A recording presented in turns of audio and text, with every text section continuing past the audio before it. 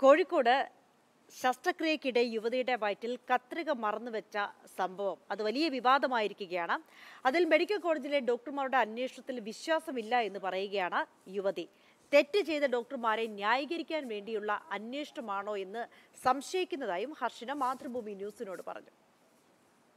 അഞ്ച് വർഷമാണ് വയറ്റിൽ കത്രികയുമായി ഹർഷിന വേദനയും ആ ഒരു ദുരിതവും അനുഭവിച്ചത്. ആരോഗ്യമന്ത്രി അന്വേഷണം പ്രഖ്യാപിച്ചു. മെഡിക്കൽ കോളേജ് ആശുപത്രിയിലെ മൂന്ന് ഡോക്ടർമാർ അന്വേഷണം നടത്തി വരികയാണ്. ഹർഷിന ഇപ്പം എങ്ങനെയുണ്ട്? ആരോഗ്യസ്ഥിതി മെച്ചപ്പെട്ടിട്ടുണ്ടോ? ഇപ്പോൾ ഏകദേശം ഒരു മാസം ആവാനായി പതിനേഴാം തീയതി ആയാൽ അപ്പം ഏകദേശം എനിക്ക് എന്റെ കാര്യങ്ങൾ ചെയ്യാനുള്ളൊരു ഇതായി വന്ന് പുറത്ത് സ്റ്റിച്ചൊക്കെ ഉണങ്ങി പിന്നെ ഉള്ളിൽ വലിയൊരു ഓപ്പറേഷൻ ചെയ്തതായത് കൊണ്ട് അതിന്റെതായ ഒരു ബുദ്ധിമുട്ടുകളും പ്രശ്നങ്ങളൊക്കെ ഉണ്ട്. അതിന് റെസ്റ്റ് എടുത്ത് റെഡിയായി വരണം. ഈ ഒരു സിസേറിയൻ അതിന്റെ മുന്നേ രണ്ടെണ്ണം ചെയ്തിട്ടുണ്ട്. അതിൽ വന്നതാവാം എന്നൊക്കെ ഉള്ളൊരു ഒരു എന്താ ഒരു അടിസ്ഥാനവും ഇല്ലാത്ത ഒരു രൂപത്തിലുള്ളൊരു സംസാരം.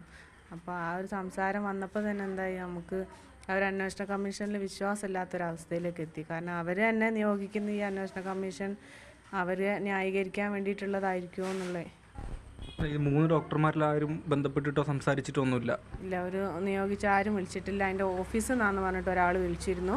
നമ്മളോട് അങ്ങോട്ട് ചെല്ലാൻ പറ്റുമോ എന്ന് വെച്ചിട്ട് അപ്പോൾ ഞാൻ ഈ ഒരു അവസ്ഥയിൽ എനിക്ക് എന്തായാലും ഒന്നര മണിക്കൂർ യാത്ര ചെയ്ത് മെഡിക്കൽ കോളേജിൽ എത്താനുള്ള ബുദ്ധിമുട്ടുണ്ട്. അത് അടിവാരത്തു നിന്നാണല്ലോ അപ്പോൾ ഇത്രയും ബുദ്ധിമുട്ടുള്ളത് കൊണ്ട് ഞാൻ അവരോട് പിന്നെ വിളിച്ചു പറഞ്ഞു എനിക്ക് എന്തായാലും വരാൻ പറ്റൂല.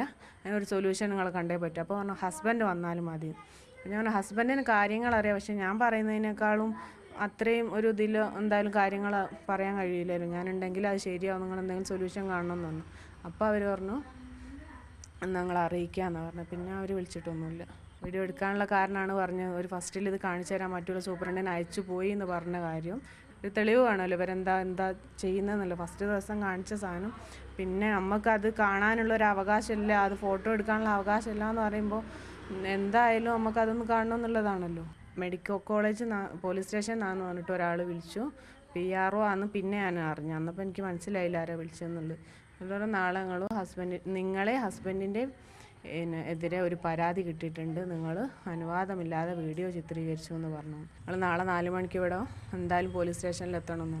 പിന്നെ ഇവിടുന്ന് രണ്ട് മൂന്ന് ആൾക്കാർ പോലീസ് സ്റ്റേഷനിലേക്ക് വിളിച്ചു. മെഡിക്കൽ കോളേജ് പോലീസ് സ്റ്റേഷനിലേക്ക് വിളിച്ചപ്പോൾ അങ്ങനെ ഒരു പരാതി അവിടെ കിട്ടിയിട്ടില്ല എന്ന് എന്തായാലും ഇത് ഗുരുതര വിഷയമായി കാണുന്നുവെന്ന് എല്ലാവരും പറയുന്നുണ്ട്. പക്ഷേ ഈ അന്വേഷണത്തിൽ തൃപ്തിയില്ല എന്ന് തന്നെയാണ് ഹർഷിനെയും കുടുംബവും വ്യക്തമാക്കുന്നത്. ഇവർക്ക് നീതി ലഭിക്കുന്നതിനുള്ള ഇടപെടലുകളാണ് ആവശ്യം.